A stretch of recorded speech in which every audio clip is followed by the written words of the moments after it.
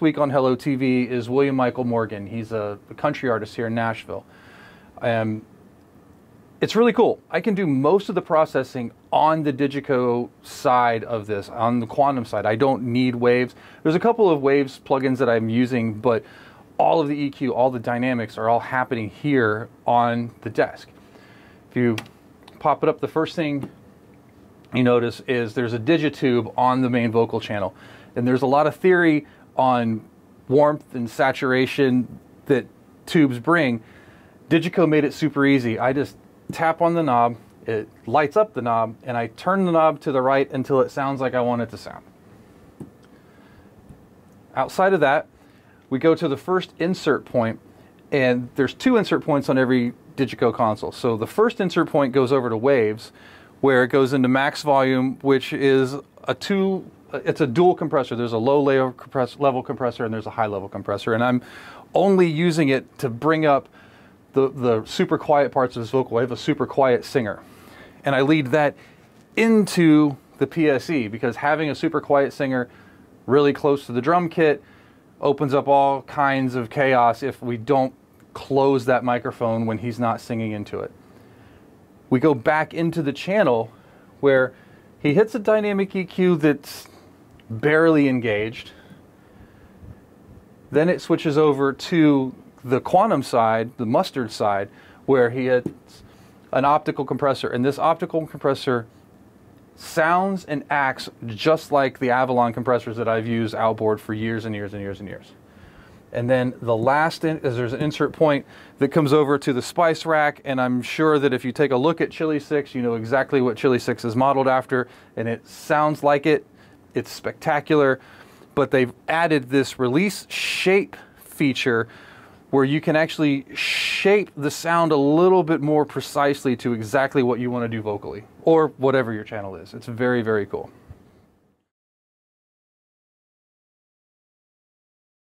this little SEQ button. So dynamic on, I use a quick attack because obviously I want it to pick up the initial transient, uh, fairly quick release.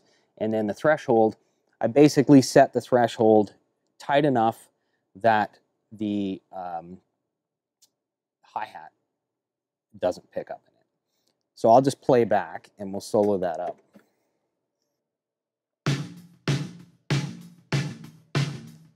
So that's just the snare top. And if we turn off that EQ, you can hear it gets a little bit flat, right?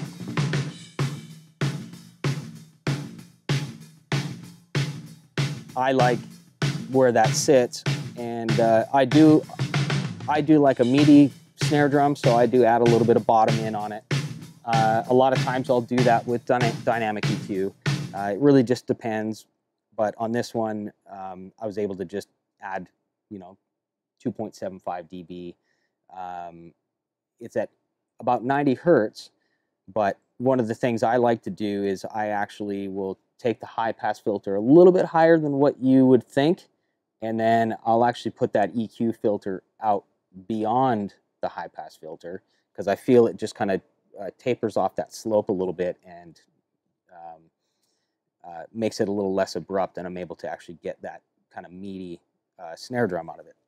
So I'm just going to put this in loop.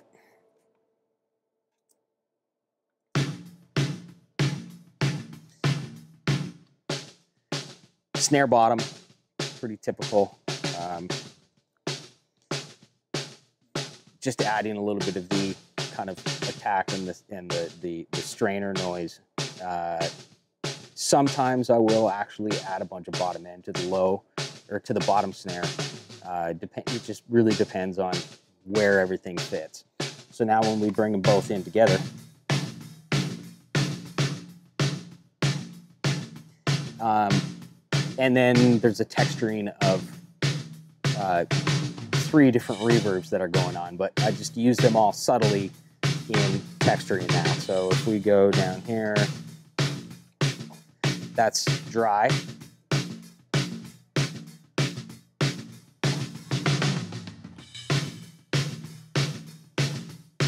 One of the other great things um, about working in the digital world is input delay. So for me, I don't add uh, or I don't flip the phase. I actually will go. Uh, I just use. I'm I'm all about just a 57 on top, 57 on the bottom. I don't nothing fancy for me. I don't uh, really use any Froofy mics. I want to have stuff that I can get wherever I'm at in the world. And if something breaks, then we can always get the same same thing. Um, but being able to add input delay. So I'm going to do it with it in, and then I'll turn it off, and you can hear, and I kind of just use that to also shape the tone. And it might not be perfectly in phase and whatever, but I'm I'm looking for certain things that I hear to kind of pop out, but it'll actually cancel out certain other things. And so that's part of where I move it around to find that sweet spot for me of where it is. But if we turn that off, it's not a huge difference, but I feel like the bottom end gets a little bit better. And there's a little bit in the mid range that kind of just hits you in the face a little bit better. So now, uh, hi-hats, pretty typical stuff. I actually really don't use the hi-hat mic a lot. I do more some pretty heavy compression on overheads, and uh, I actually mic the overheads a little bit closer and try to pick up the uh, the kit because I find it naturally gives space to it uh, just by doing that. And then uh, with some pretty heavy compression, uh, all those little intricacies from the cymbals and the hi hat and all the things actually come out that uh, I usually don't have to use a lot of the hi hat mic. So now let's jump in on the toms. I've cut out a little section uh, and it's just two tom hit, couple of tom hits. Uh, and basically I'll show you what it sounds like with the gate on, with the gate off, and then we'll punch the EQ in and out. And these are gated pretty hard. Uh, I know in these he was uh, on these shows he was definitely not hitting as hard as normal. Um, so it probably doesn't come into play as much on this with the dynamic EQ uh, before the gate, but I feel like it'll give you a good idea of how it actually works. So now I'm just going to go, this is with the gate on, and we'll punch the gates out.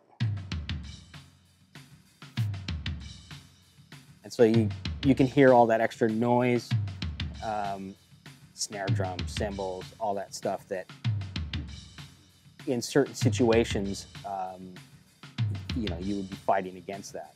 So we'll punch them back in.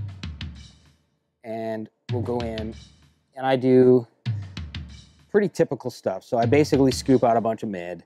Um, I add a little bit of low where the note of that tom is to accentuate it. And then as well, uh, just some attack on the top. But if you look in a little bit closer at the screen, you can see that only when the tom actually hits is it actually boosting and adding that extra energy, which helps open the gate when I want it to. So when you go into here, I'm using a quick attack, fairly quick release, and you can actually change that. So if you want the tom to hang on a little bit longer, or if you want it to be really short and quick, you know, and I do that also on low. And um, for these ones, minus 36 is the threshold. Um, and that's where uh, I felt it uh, captured the sound of the tom without uh, being triggered by any other cymbals or snare hits or anything like that. So, and I did the same thing. Basically almost a copy and paste on the floor tom. I just, the low frequency note is just a little bit lower um, based on what the note of that drum was. Okay, and then beyond the uh, Tom channel strips, uh, I actually uh, do kind of the same thing on my Tom's group in adding extra expansion to accentuate those areas that I want to really pop out. and then from there I actually run it into a compressor. So so those toms when they hit, it's just like boom, it's right in its spot. I find. Um, so that's pretty much what I do there. Uh, overheads is pretty typical stuff. Um, high pass filter. Depending on the microphone that I'm using, there will be you know some harshness around four or five k that'll take out, but then add a little bit of sparkle because um, we all love sparkles. and the and then some pretty heavy compression. So I'll on average I'll end up compressing my overheads probably at least 10 to 12 dB. Um, and I'm I'm doing all that on board uh, the console.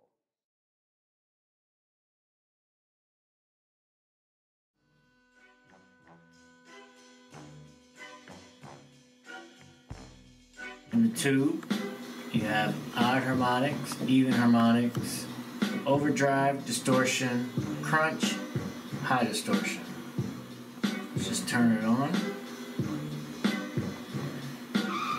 Give it a little drive, turn the drive a little bit. Zero, output to zero. Odd harmonics, even harmonics A little overdrive, distortion, crunch, high distortion. Just give it a little more output so you can hear it.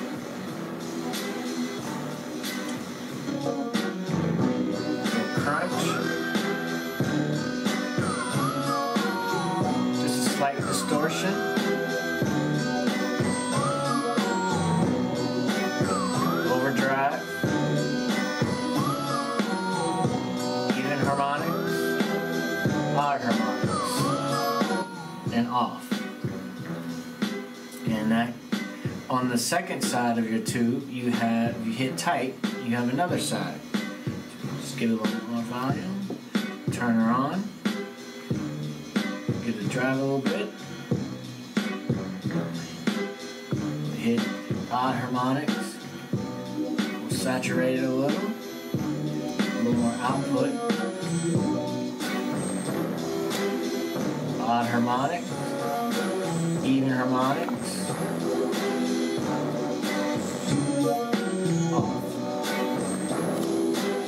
Saturate a little more.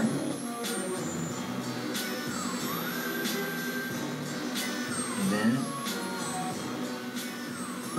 we'll turn that off. And that's it for the tube section.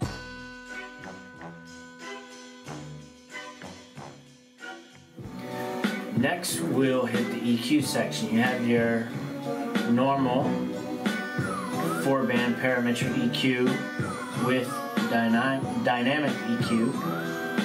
And on the mustard side, you have four more bands of parametric EQ as well on top of your standard. Let's turn her on.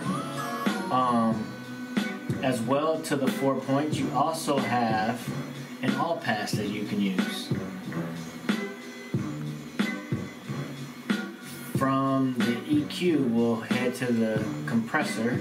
You have your normal multi-band compressor, our regular compressor, our de-esser, as well as a gate, ducker, or comp. If you flip over to the mustard side, now you have another compressor and gate or ducker. So we'll turn the compressor on.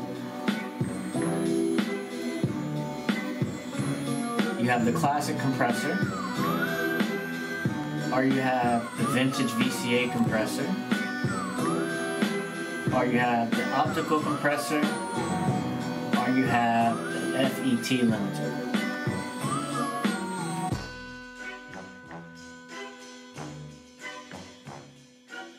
All right, next we'll do nodal processing. Nodal processing will add this channel. Subs in. Now, as you can see, on this sub channel, on this channel, going to the subs, we have uh, EQ that we can EQ this channel differently going to the subs. We can compress it differently and we can get it differently. And just we can remove it just as easy.